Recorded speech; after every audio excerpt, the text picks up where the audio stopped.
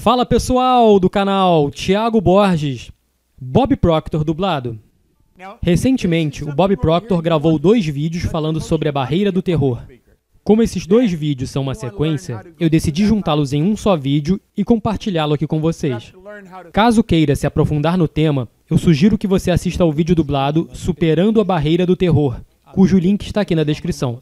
Espero que gostem do vídeo de hoje. Bom estudo! Olá e seja bem-vindo! Sabe, falamos sobre a barreira do terror em nossos programas. E há pessoas me perguntando de vez em quando: o que é a barreira do terror? Bem, a barreira do terror é aquela linha invisível que o separa das coisas que você conhece e você é familiarizado, das coisas que você não conhece e não é familiarizado. Deixe-me dar um exemplo. De fato, vamos nos afastar da barreira do terror por um momento. Vamos pensar nas coisas que você faz todo dia. E. Isso não causa medo, você se sente muito confortável. Você pode gostar ou não, mas faz todos os dias. Você dirige seu carro, se veste e faz o que tem que fazer. Como que eu estou fazendo agora mesmo, que é transmitir ou filmar. Eu faço isso o tempo todo, então estou muito confortável fazendo isso. Eu não tenho problemas em me sentar na frente da câmera e, você sabe, expressar livremente o que está acontecendo internamente. Sem medo, muito confortável. É o que eu faço, regularmente. Agora, dentro desse estúdio, há coisas que eu não sei nada a respeito. Literalmente. Scott Edwards é o nosso diretor de estúdio. Ele pode acessar esse estúdio de qualquer lugar do mundo e me filmar. Ele pode editar os filmes. Scott atualmente está em Manchester, na Inglaterra. Ele pode operar esse estúdio em seu laptop, de Manchester, na Inglaterra. Eu não sei nada sobre como fazer isso. Nada. Agora, vou te mostrar isso aqui na tela. Eu quero que você observe isso por um momento. Vamos supor que essa linha aqui represente isso é o que eu sei. E como eu disse, eu estou familiarizado com isso. Toda essa área aqui é o que eu conheço e com o que eu estou familiarizado. Essa outra área aqui, eu não estou familiarizado com ela, eu não conheço. Agora, eu posso chegar até aquela linha e me afastar. Isso não causa medo. Do outro lado da linha, há coisas que Scott Edwards sabe fazer, que eu não sei nada a respeito. E veja, eu não vou até lá. Eu sei que não vou para lá. Eu fico aqui. Eu fico na área que eu estou familiarizado. Então não há medo envolvido. Eu quero que você pense sobre isso. Vamos supor que eu queira ir até lá.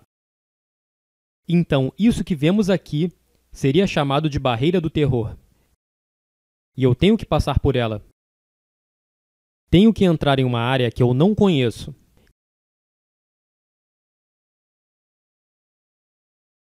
E que eu não estou familiarizado. Digamos que falar em público é algo com o qual estou familiarizado. Eu posso lidar com isso aqui, sem nenhum problema. Se você estivesse fazendo isso, dizem que falar em público é um dos maiores medos que temos. Então, a pessoa comum que vai fazer isso está entrando no que não sabe. Ela atingiu isso aqui e se afastou dessa barreira do terror. Isso causaria todos os tipos de problemas. Agora, a barreira do terror é aquela tela invisível que fica entre o que sabemos e nos sentimos à vontade para fazer e o que não sabemos e causaria grande desconforto se começássemos a fazer. Agora, se isso aqui é algo que você quer fazer, vamos supor que você queira ser um palestrante. Então, você tem que aprender a passar dessa linha. Você tem que aprender a enfrentar o que tem medo e lidar com isso. E esse é outro assunto. E falaremos sobre isso daqui a pouco. Mas é isso que podemos chamar de barreira do terror. É o que separa você do que você conhece e se sente à vontade daquilo que você não conhece e causa muito desconforto. Quando você for passar por aqui, por uma área com a qual não está familiarizado, precisa atravessar a barreira do terror.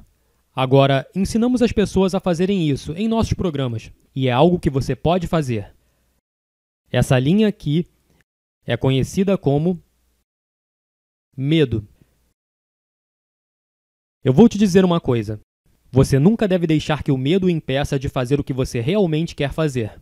Então, se isso é algo que você realmente deseja fazer e você precisa atravessar a barreira do terror, certifique-se de estudar isso. Porque você não deseja deixar que o medo o controle. Você controla o medo. Obrigado. Olá e seja bem-vindo. Aqui é Bob Proctor. No vídeo anterior, eu falei sobre o que é a barreira do terror. E eu estava explicando que a barreira do terror é aquela linha invisível que separa você de uma área que você não é familiarizado. Agora, existem todos os tipos de coisas com as quais não estamos familiarizados e elas não nos causam nenhum medo. Nós simplesmente não vamos lá.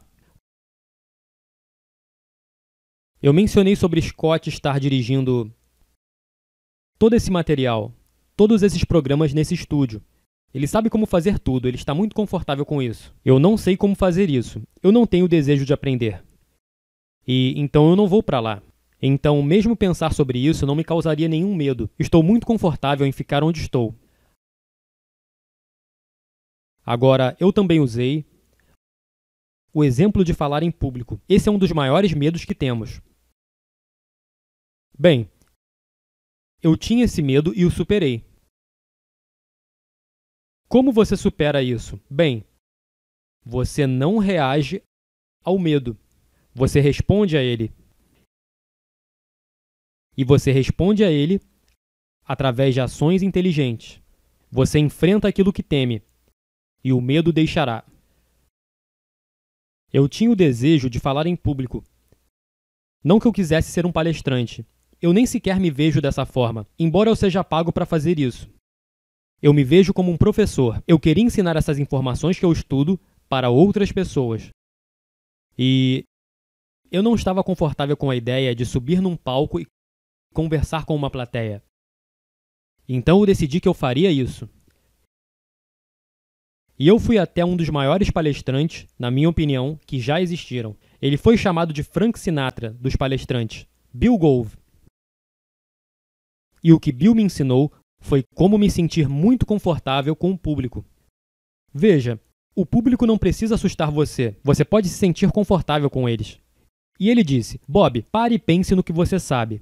Pare e pense em como essas informações realmente ajudaram você. Então entenda que essas informações vão realmente ajudá-los. E seu único objetivo ao entrar nesse palco é ajudá-los a entender como eles podem pegar essas informações e, literalmente assim, mudar o rumo de suas vidas. Então ele disse: Bob, se você está sentindo medo, é porque tem medo do que eles pensam de você. Você tem medo de que eles riam de você. Mas se você não estiver pensando em você e colocar todo o seu foco neles, e você tiver um desejo sincero de ensinar isso a eles, você vai superar o medo. Agora, isso é responder ao medo de forma inteligente. Reagir a ele é fugir. Lutar ou fugir é isso que fazemos. Se há algo que você teme, entenda. Entenda o que é. E em nove em cada dez vezes, nosso foco está em nós mesmos.